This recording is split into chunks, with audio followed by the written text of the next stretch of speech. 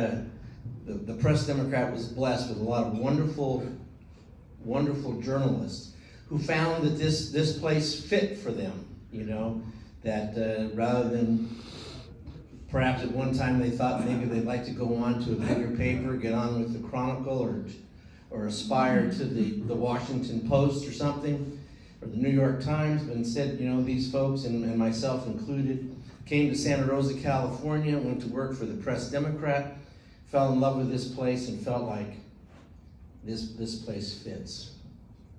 And for years and years, nobody left the Press Democrat. For many, many years, uh, pretty much if you were a reporter, a photographer, an editor for the Press Democrat, you, um, you stayed. So I, when I walked in, I was 23 years old, very much the baby of the, of the news staff. And then when I walked out last, uh, the last day of April of last year, I was very much the, um, the, this, the old seasoned veteran of the place. Pretty interesting. We were all we were all uh, of a of a certain age, and we know what that's like. One day you're the kid, and the next thing, what do you know? You're the old man of the staff. How did that happen? But I felt very, very fortunate to work virtually my entire career at the at the Press Democrat. And what I'm doing now is they, they call me when somebody notable dies. And I'm, I'm glad they call me because like uh, you may have seen in the paper today, I had the obituary for Len Tillem. Why are you calling a lawyer? And you know, the, the, Press Democrat could assign any number, any one of a number of young reporters to go figure out who Len Tillem was, but most certainly that reporter had never heard of Len Tillem. You know, most of the, the, the staffers at the Press Democrat now would never have heard of Len Tillem, would not have any idea who he was or what he did. And so, excuse me, what an advantage for, to ask me to do it because I knew him, I listened to him, I had an idea what he was about. And so it's not a cold start for me to write his obituary. Um, I've done about uh, six or seven obits, and then at the end of the last year, I wrote, uh, I think, about, about 20 people who had died in, in 2021. I wrote about uh, uh, some of the notable people, Don Green and Norma um, uh, Brown, and on and on. And I, nearly all of them uh, I knew. So things change, and I'm an optimist. I trust that things, that life will go on. Obviously, things change. And pretty soon, the day will come at the Press Democrat that someone will pass away, someone, uh, the prestige of a, of a, um, a Codding or a Schulz or a Trione or, or we hope not even, uh, even a Traverso, although it won't, it won't be anytime soon. And the thing is that there will, the, the day is coming when not a single staffer at the Press Democrat will have any idea who any of those people was. None. And so this is a this is a sea change because you know from the time that I walked in to that newspaper in 1977, you know there were these reporters who'd been around, reporters and editors been around forever. Kathy Barnett, the retired editor, was born in this town, you know, and so for years and years and years, there were people in that newsroom who lived here and, and grown up here or spent their lives here and knew people. And now the Press Democrat has a whole new crew of young people, and, and pretty soon uh, none of them will have any idea who anybody is. And it, it's tougher. And then we've been talking a little bit about the newspapers. And I'll say the one, one, one good thing you can say about the Press Democrat is that it is faring better than most. It's faring better than most because we do not have debt. The newspaper does not have debt. It does not have stockholders. Uh, share, it doesn't have it doesn't have to generate. Um, uh, but it does have to generate. It, it attempts to generate a profit, but at least we don't have stockholders. Um, but the Press Democrat struggles some itself, and you may have seen also in the newspaper today a very sad day for the, the, the Press Democrat, and that is that they are giving up. They're going to close later this spring. They're going to close the printing facility there along Highway 101 in Rohnert Park. They're going to shut it down, and they're going to pay the Chronicle to print the Press Democrat over in Fremont. And it's a, it just is a sad day. You know, here the Press Democrat is for something like 160 years has been this self-contained, um, typically fairly thriving regional newspaper with our own printing press and our own everything. And so it's a, it is a sad day. There's no way around it. That's a sad day for them to, to close their printing press and to um, fire, lay off these craftsmen uh, who, who, who run that press. But we hope life goes on. So in the in my years here, um, I was at the paper about 42 years. I did have some big stories, but I over time I found that I enjoy the little stories. And so the last 20 years of my career, I was fortunate to succeed Gaye LeBaron and write an item column. And uh, I, am no Gaye LeBaron and I am no Herb Caen, but I was inspired by both of them. And I think we can all remember them uh, for all, the decades, the many decades, that Gaye LeBaron and Herb Caen, you would find them on page two of their respective newspapers. The Chronicle, the Press Democrat, you open it up, and there's that wide column, and all the way from the top to the bottom of that page. And Herb Caen had these wonderful, maybe 30 little items, this three dot journalism. And he got all these people's names in the paper, and all this funny stuff, sad stuff, you know, commentary on the news. And people just ate it up. And the Gaye LeBaron had her column all the way down page two. And so when I got the column uh, upon Gaye's retirement in 2002, I started writing these little stories. And it would make my day, it, it truly, like I would rather have a bunch of little stories about Sonoma County and about the people of Sonoma County than have a big story.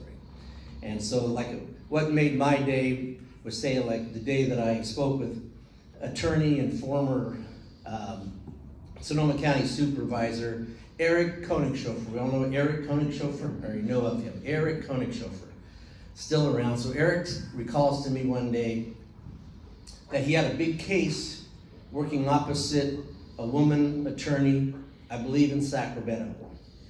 And one day, the case was going to be finalized and was going to require them to both sign off on the papers. It was a big deal big day for this case. And he was to call this lawyer in Sacramento and let her know the papers were ready. And so it, it, it was a, a, big phone call. So Eric, he finally he gets the papers and he's going to notify his opposing counsel in Sacramento and he calls her up. And he asks for the attorney, can I speak with so and so? And the, the woman who answered the phone said, Well, she's in a meeting. And Eric said, Well, I'm sure she would want to be gotten out of that meeting. This is important. So I'm sure she would want you to go get her out of that meeting. Well, okay, I'll, I'll, I'll try. I'll ask him. I'll ask her. And she says, And tell me your name. This is Eric Koenigshofer. Oh, she goes, Oh, well, yes. Um, I'll be right back to you. Eric has no idea why this woman on the other phone, this legal assistant, perked up at the sound of his name, but he liked it. And uh, he waits, and then a few moments later, the, the attorney comes on and says, Hello, who is this? Mm. Who is this? And he says, he tells her this, this is Eric Koenigshofer. She says, Oh God. She says, My assistant just ran into the meeting and said, that I had a phone call from Harry Connick's chauffeur. Harry Connick's chauffeur. I also, I, I wrote recently, well, one of the obituaries that I did lately was for um, the fellow who, for Tim Alexander, who had Tate's Shoe Repair, Shoe Service in downtown San Rosa. I trust we were all one time or another.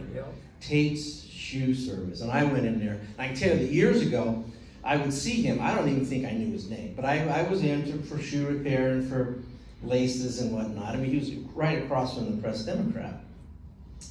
And one day I said to him, "Hey, I need to write about you in this this shop, this chaotic, old school shoe store. Good luck finding anything, you know."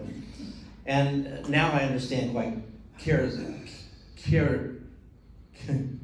charismatically, uh, quite typically of him, he was not interested in the publicity. He said he was not interested in having me write a story about it. Okay, I didn't.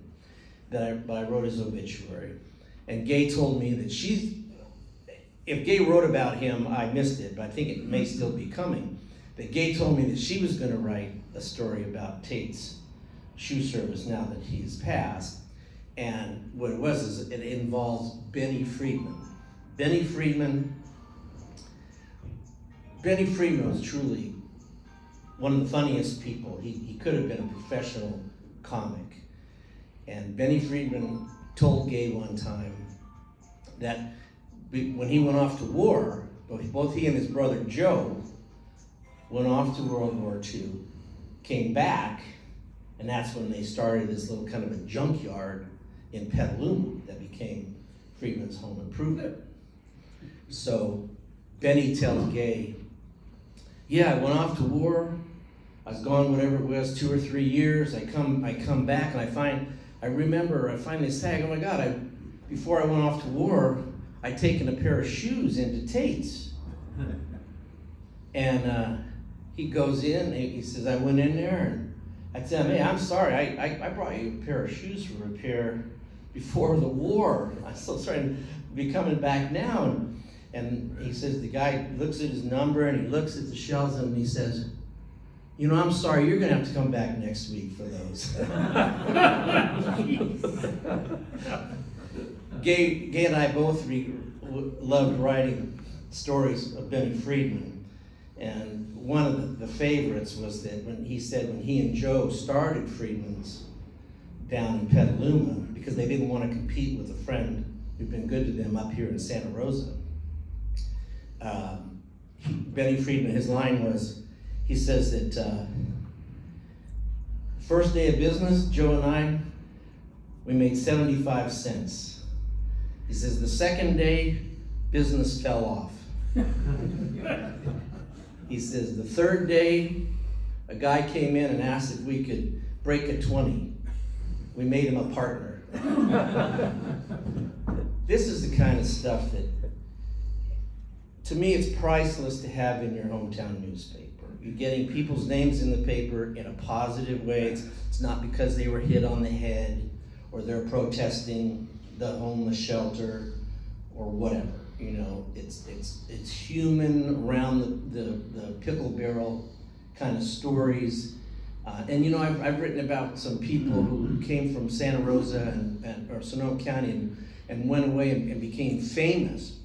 And then if I would write something in or gay, they would say, you know, they get a lot of publicity. They, you know, maybe been on national news, but there's something about getting your name in your hometown newspaper. Something about getting your name in your in your hometown newspaper. You know, I um, one of my fascinations is people who are 110 years old and over, called supercentenarians. And you know, there was a time at, at, the, at the Press Democrat and probably your paper that if somebody turned 100 years old, you probably did something on oh, yeah. If they turned 100 years old, you probably did something on it. For better or for worse, I swear, now that over a number of years, I've talked to a number of people 110 or close to it, that if somebody calls me up and says, hey, my aunt out in Oakmont is going to turn 100 years old next Tuesday. Could you come out and write something? I, I'm really tempted to say, you know, have her call me in 10 years? I mean, it, I wouldn't actually say that.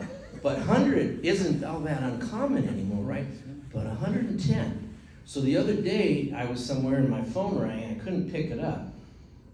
And I saw that it's a woman calling me from Willits, and I knew who she is, and I suspected I knew why she was calling. The last two years, in 2019 and 2020, I went up to Willits for a birthday party. And it's for a woman named Edith Edie Ceccarelli. Good Swedish name. Ceccarelli. Well, I was when I saw that it was this niece of hers was calling. I'm thinking, uh oh. I, I, I, I assume that I know what has happened to Edith Ceccarelli since I was at her birthday party last year. But I called, no, she's doing quite well. Edie is doing quite well. We're going to have another party. It's going to be a drive-by like last year's was for Willits native Edith Ceccarelli on February 5th when she turns 114 years old. And that's it. It is like Jesus. Um, you think 104. She was born in 1908. Imagine what. She, and she was born in Willits, and she came. She and her uh, first husband, Elmer Brick Keenan, was a typesetter at the Press Democrat. Another another craft that has gone away, but he was a typesetter at the Press Democrat. So they lived, the two of them, in Santa Rosa for a number of years moved back to Willits. And of course, he passed away eons ago.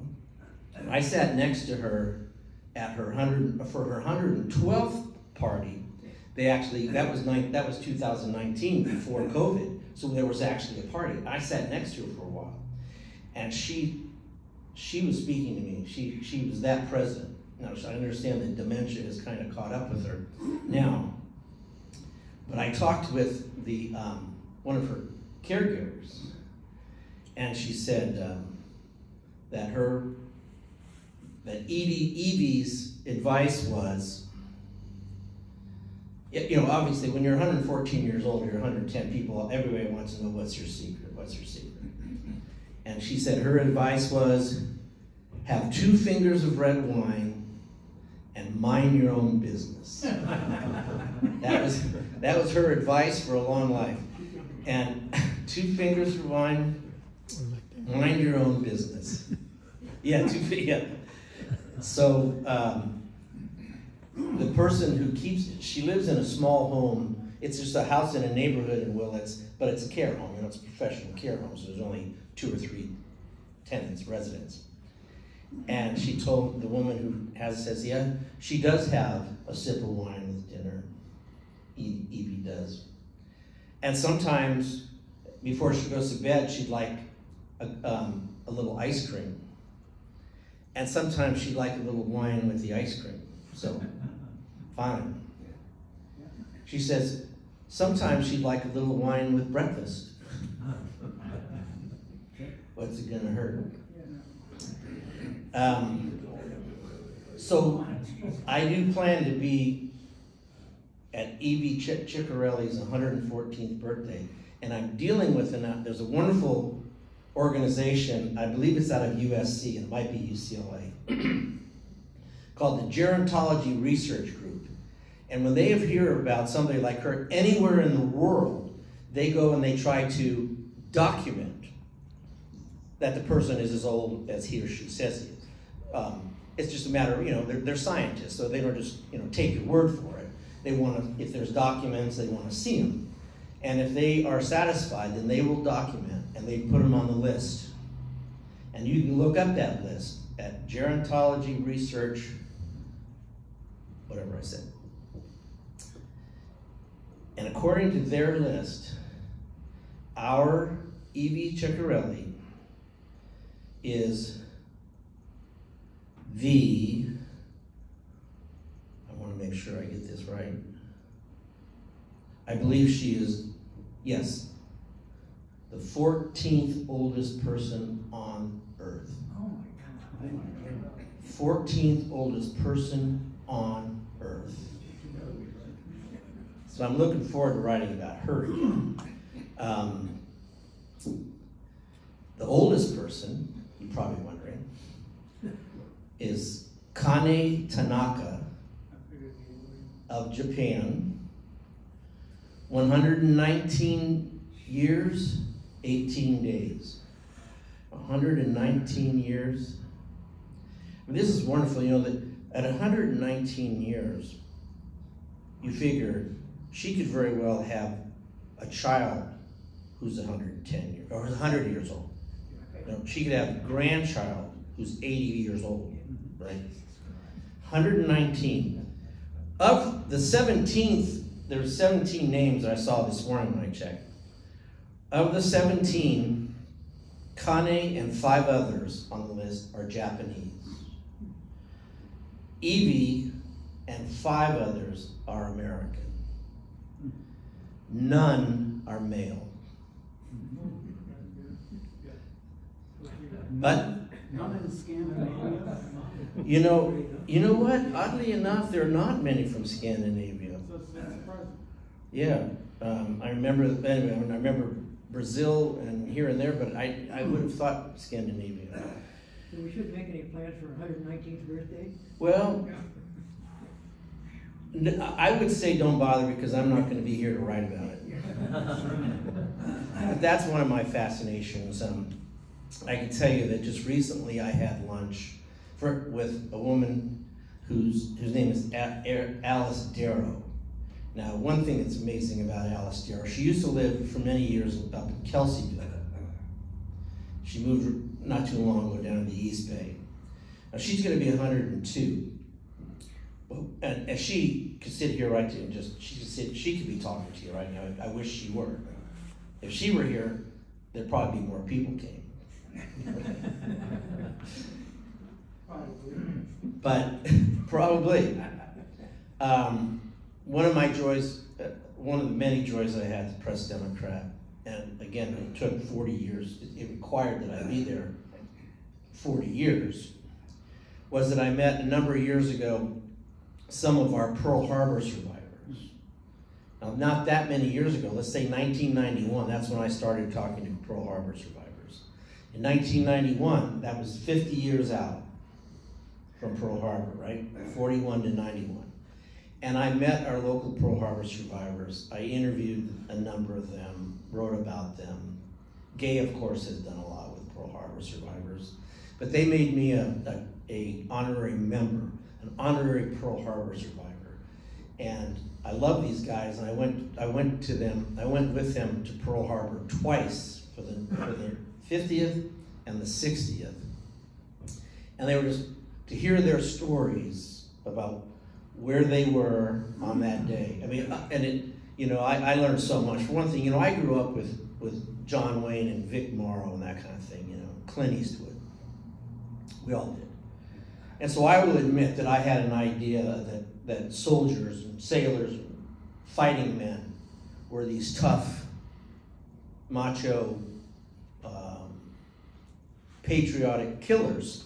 I mean, and, I mean that in a, in a positive way, but they were, you know, tough guys. Well, you get to talk, you, you, it dawns on you as you're starting to write about Pearl Harbor survivors that they were, they did not join because we were at war. They joined before the war. So obviously, if they were at Pearl Harbor in uniform, they joined the Navy or, or the other services in 1940, 1941. They were already in. Why were they there? Because they were tough guys and they wanted to shoot people? No. They were in because they were 17 years old, the economy sucked, and they wanted a job. And they were really just kids. And to think, you know, talk about these guys, realize they were 18 years old and they were at Pearl Harbor on that day and what they beheld and what, what they saw. Well, Alice Darrow, one of my favorite people in the world, she was a nurse. She was a Navy nurse over here at Mare Island. And she was there when there was this buzz in the hospital there was a young sailor there from Pearl Harbor. His name was Dean Darrow, and he'd been, he'd been aboard the West Virginia. And it was, uh, he was blown off the deck, as so many were, with the strike of a torpedo. He's in the water, the oily water, being strafed, and he was injured. He was hit. He was taken I believe he was taken to the hospital ship Solace. They saw there was a wound to his back. They patched him up. They, they um, x-rayed him. I guess they did have x-rays in 1941. And eventually they sent him back to duty. Uh, the wound was healing, he went back. So now he's on a destroyer because, of course, the West Virginia wasn't going anywhere. And as he's out there, now the war is on, and he'd run to battle stations and whatnot, he'd be uh, breathless and tired. What's wrong with me? And I can just imagine if a movie were made, he might tell the chief, hey, chief, I just don't feel good. I really feel rotten. And I can imagine this, the old grizzly chief saying, there's a war on, kid, you know, get, get a grip. Well, one day, Dean Darrow, young sailor Dean Darrow, could not get out of bed, could not get out of his bunk. Uh, they figured, well, there is something wrong with this kid. They sent him back to Pearl Harbor, and he had new x-rays taken, and they found something. And what they found in the back of his heart, in the muscle of his heart, they found a 7.7 millimeter Japanese bullet. It had gone through his lungs, seared it shut, the, lung, the, the damage to the hole in the lung, and it came to rest in the muscle of his heart. So they send him to Mare Island, where he meets his, nurse, Alice Becker. Everybody calls her Becky. And one day, Darrow, Dean Darrow, before the um, surgery, says, Becky, Miss Becky, if I come out, if I come through this, would you take liberty with me? And you know, she's trying to keep his spirits up. So she says, Well, yes, of course I would. Like you're going to come out of this, you know, open heart surgery in the spring of 1942. So they pulled that, the, a doctor from Stanford pulled that bullet out of him. And when Dean Darrow came about, the, uh, the officer, the surgeon, shows him. He says, If you don't mind, sailor, I'd like to keep this.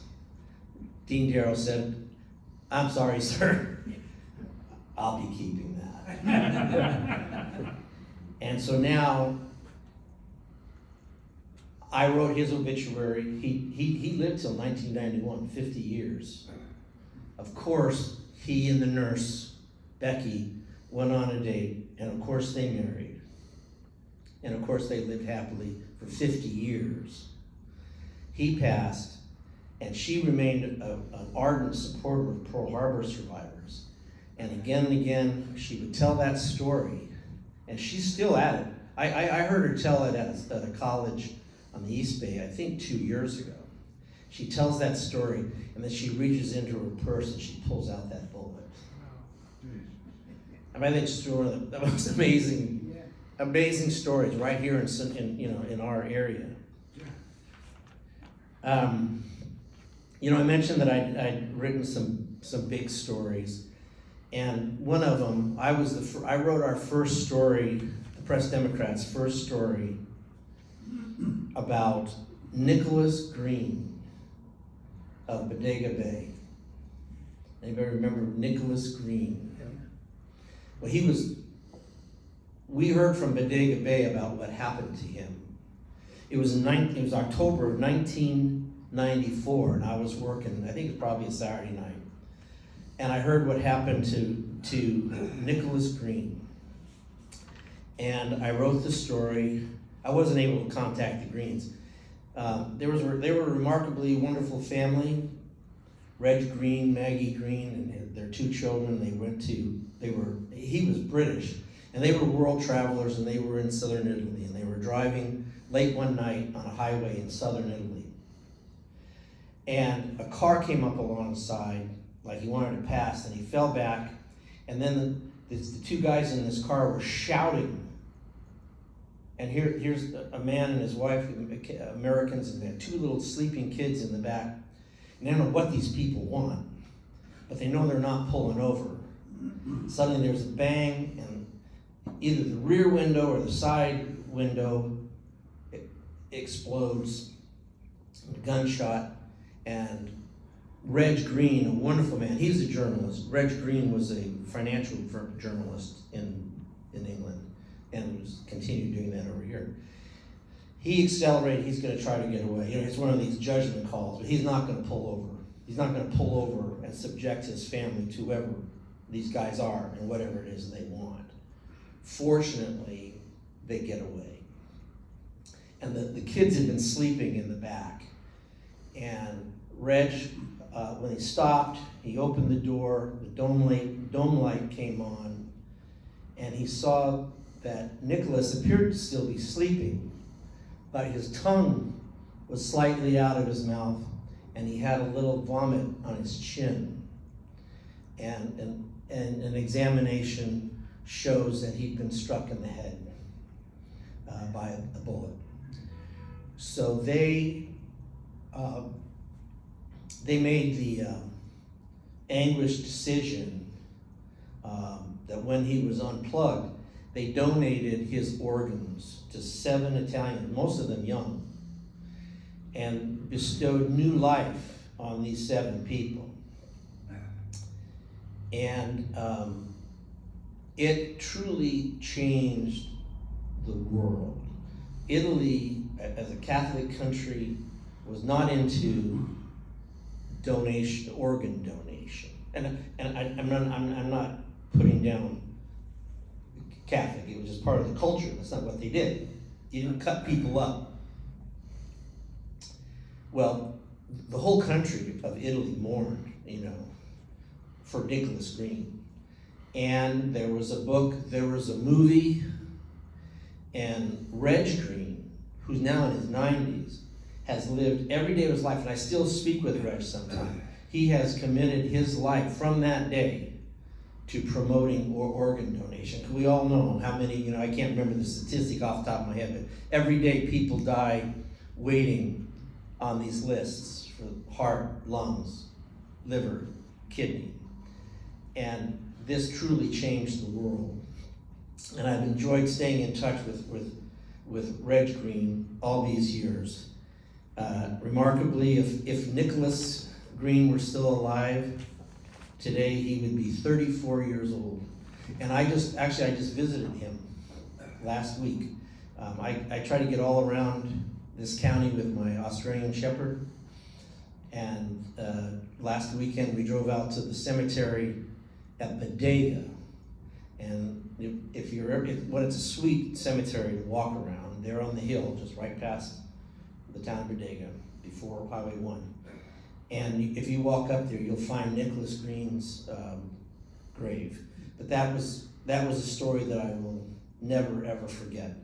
Um, and it's been wonderful again by working so long at one place. I've had a chance to kind of follow that story since his death. And you know, they, there's that bell tower out in Bodega Bay with a hundred bells from from people all throughout Italy. And so that the story is still alive, and I, I believe there's probably still an effect, a positive effect on organ donation from, um, from the gift of, uh, of little Nicholas Green. Um, there was another story that, that I, I won't dwell on. Uh, well, I'll tell you that I, I wrote our first story about um, Polly Klaas. And I'm not even, it's so, uh, I think most of us know who Polly Klaas was. But I'll just say that I will never forget. It was a Saturday. I worked a lot of Saturdays. I covered a lot of rose parades. Eighty what? Polly Klaas. What's that? Polly Klaas was eighty. I want to say, you know, I didn't write, was it 87? I don't know. I want- I think about that. 12 years old, and I'll just recall I was driving. I came up over the Cotati uh, hill, Cotati grade, and I'm coming down the Cotati grade, and I'm thinking, by the time I get to Petaluma, this thing is going to be sorted out. This thing's going to be sorted out. There was no way that the boogeyman walked in off the street in downtown Petaluma and grabbed this child in front of her two sleepover friends with her mother asleep in the next bedroom. There's no way that happened. Um, and then I promise I won't dwell on this, but I did do our first story on Carmina Salcido.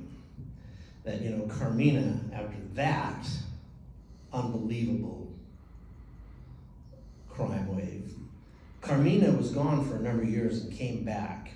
And I did our first interview with Carmina Salcido, and I'll always remember that. Because Carmina, of course, was, was two years old, turning three, I think, when this happened. And if you were here, you can remember how joyous out of, the, out of that horror when this little girl was found and survived. That Carmina Salcido survived the murder um, rape of her of her father.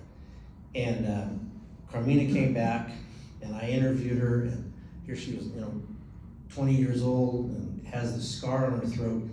And um, one story that I hoped I would write, I, and I would still come back to the press to, to write it, would be about the survival, the, the true survival of Carmina Salcido. She's had a very, very, very, very tough life. And if anybody deserves to be messed up, it's Carmina Salcido. But I was always hoping she would um, lift, her, get, lift herself up out of it. Another story that I did, and I'll wrap up, was, uh, and I, I, how often do you see the, the, the, the, the cross, the white cross on the hill out there at St. Francis? Arvo Kannisto's cross. And I met Arvo a number of times, and he was a character. And Arvo was a uh, World War II veteran, and he was a San Francisco police officer, and he was a tough old guy. Arvo Kannisto was one tough bird. And he was a Christian, and he said that one time he was flying into uh, Rio de Janeiro, and there's that beautiful statue of Christ looming over the bay.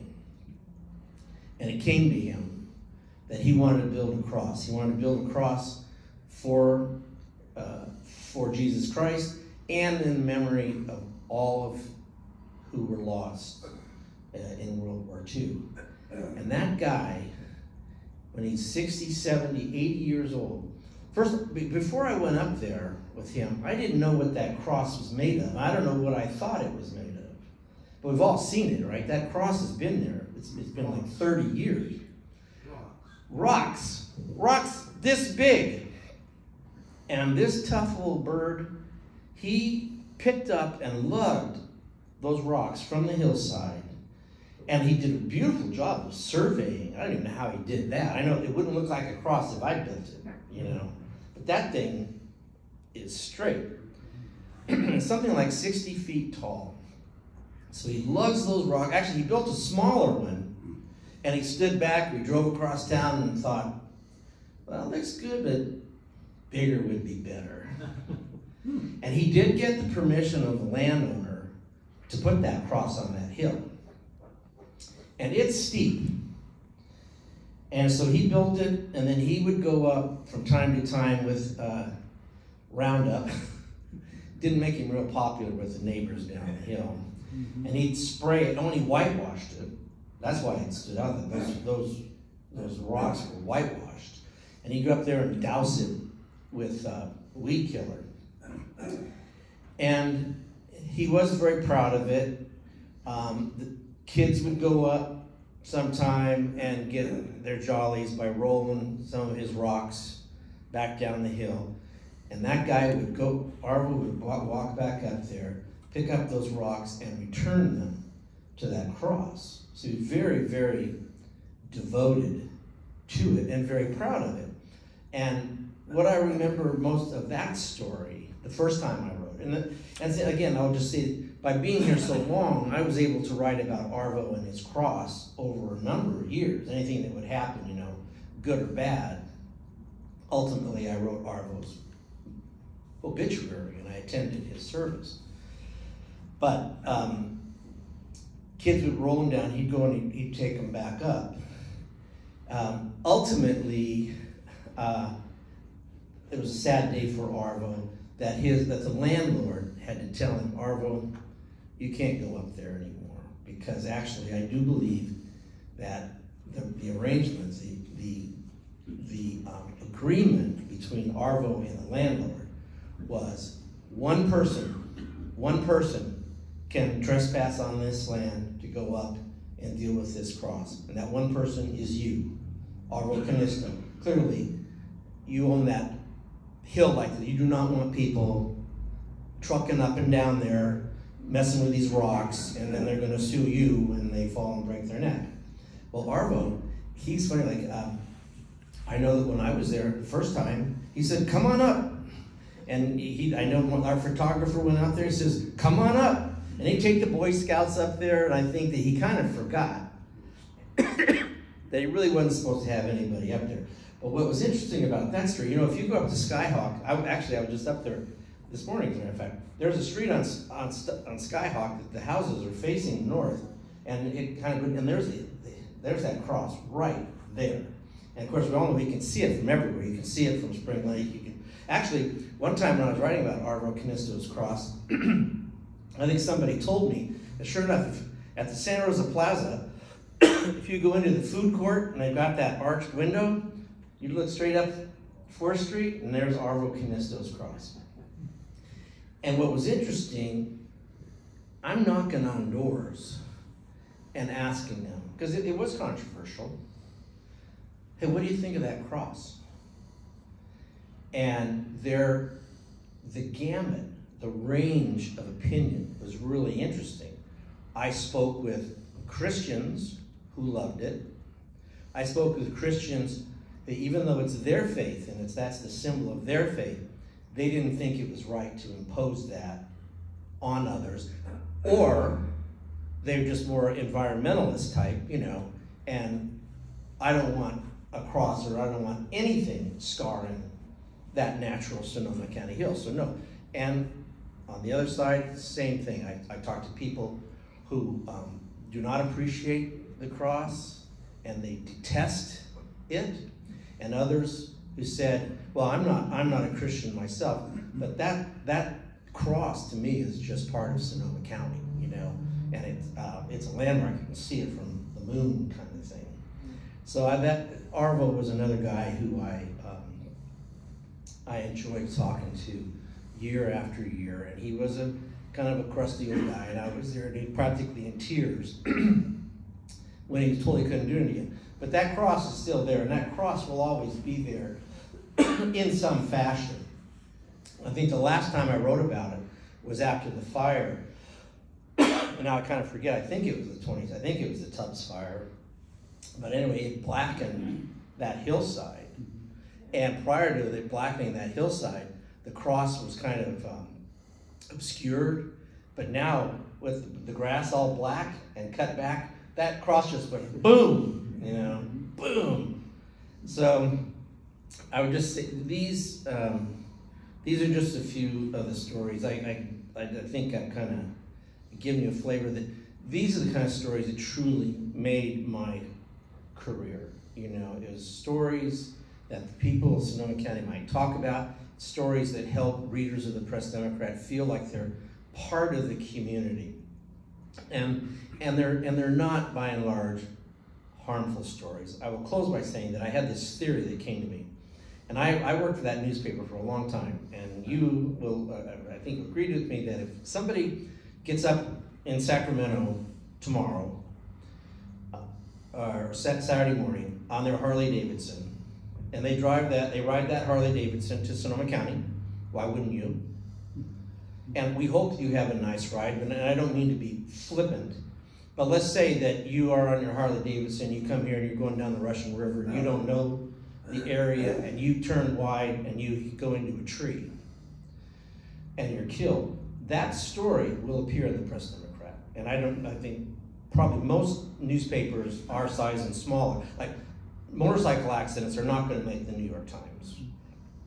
But the Press Democrat, if you ride that, your motorcycle over here and you are killed on that, you that will be in the Press Democrat.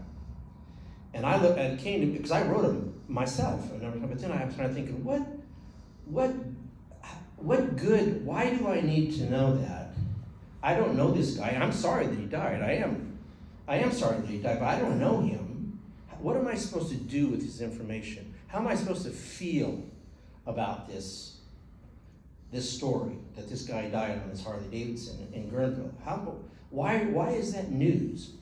Alternately, I came to believe very fervently that if in, instead that guy had come over here and he had seen uh, injured fawn on the side of the road and he had stopped and he had gotten that fawn to the rescue center in Kenwood, or if he had stopped for lunch in Monte Rio and for some reason felt moved to buy lunch for the people at the next table, that might not appear Press Democrat, but it would under my watch because that's a sweet story, and that's a story that you can, you might, well, maybe I could do that sometime. Maybe I could buy the next people lunch. Or isn't that nice that he would stop? And you, I feel like that is a story that I could do something with. And so I came around to, I'm done personally writing about death and destruction. There's more to life. And that's, that's where I preferred to focus my attention.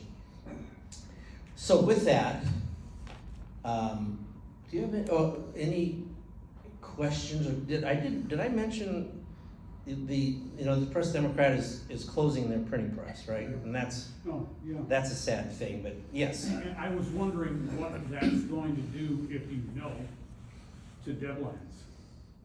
earlier.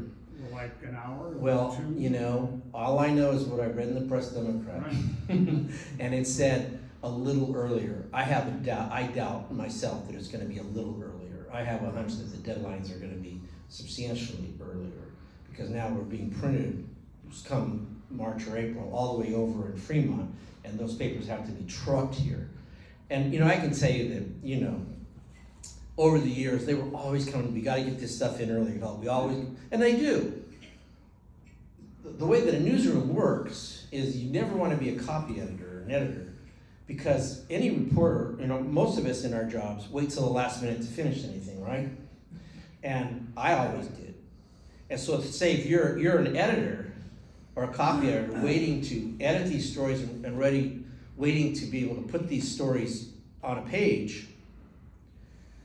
Say if the deadline's five o'clock or five thirty, eight eight reporters all wait till the, the last minute and give you this barrage of copy. But no, God, no.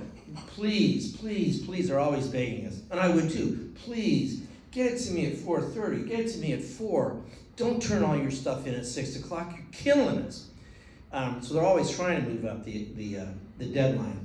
But I will be surprised if it's not an hour earlier. And that, you know, it just has an effect. And then we'll see, you know, I do think uh, uh, it does seem like it's fairly inevitable that one day the print newspaper will go away. And uh, I do not look forward to that day. Um, let's hope, as we were talking at our table today, the New York Times and the Washington Post and um, a few other papers, I'm not sure how the uh, Wall Street Journal is doing, but are doing fabulously with training people to read their newspaper online. And uh, who could argue with it? How ancient is it? And what how environmentally inconsiderate to print newspapers on from dead trees and then spend uh, burn how many gallons of fuel every day distributing that newspaper. It's horrible. And yet, I love picking up that newspaper in the morning. Yes. Um, I have a solution. Good. Never worked. I love to read USA Today. Four sections, they're always the same, Right? have little factoids in the corner, and I get most of my news there. And I, I love to read the newspaper. I read the PD every day. I've already read today. Uh, but it's all the same news. No matter Yep. what paper you pick up, a lot of it is AP and. Yes, and, it uh, is. uh, So uh, my thought would be to, and this is totally impractical, but to negotiate with uh, Gannett or whoever owns the uh, USA Today now, and uh, come up with a fifth section of local news. So that the, the PD could continue to do the really meaningful stuff that's, that's related to Sonoma County. And, uh, problem solved. But it wouldn't work because they're two different organizations and the coordination and stuff. My other idea, or my other comment is, being a veteran myself, know Yes. there's a lot of other guys in here with a lot of similar experiences. I think it's really ironic that, uh, I remember vividly being in a hole someplace over in Vietnam and all hell breaking loose and everything, and thinking, this is just like the movies. You know, that, that, it, it, and that thought really came into my head. And, uh, you know, about how realistic the movies are. Although Oh, I couldn't yeah. stand to watch them now. Since Private Ryan, Oh, yeah, yeah, they don't spare you anything, yeah. Yeah, and there's so many good stories. I mean, every time I think back about, oh yeah, you know, some of the weirdest, most ironic, uh, coincidental things happen. That's my story. Interesting. Uh, Well, I appreciate that, and you know, as an approach to what you're saying about, say, the, the Wired news, the Press Democrat has in, in the past been confronted with the question, rather than trying to cover the world, because the Press Democrat does try to be a, a comprehensive newspaper, right? It's not like, you know, we know the, the little dailies, I love them, and they're, I mean, the little weeklies, and they're all struggling, but the Sebastopol paper covers only Sebastopol, Petaluma, only, you know, Cloverdale, blah, blah, blah. The Press Democrat tries, tries to cover not only Sonoma County, but a little bit of Lake, Little Mendocino, and then cover the world, the national and international. Why doesn't the Press Democrat just cut back and print just the local news? And I think it's probably a conversation worth having. I mean, we like being more comprehensive, but as you know, yes, by the time you pick up the Press Democrat, you probably know what happened with the Voting Rights Act. You probably, I, I, I had to laugh even myself you pick up the Press Democrat the day after the 49ers game last week, you know. And it's like, hey, did you hear? The 49ers won. You go, yeah, yeah, I, I did hear. But to this point, the Press Democrat is trying to, to, to continue to be more con, um, comprehensive and regional. I Yes. just, I just want